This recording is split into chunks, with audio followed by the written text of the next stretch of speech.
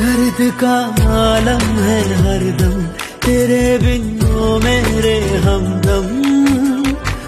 आँखों में दिखती है मायूसियाँ।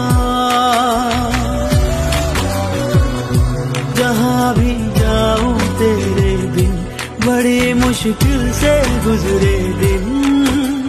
चुभती है दिल को तेरी खामोशियाँ।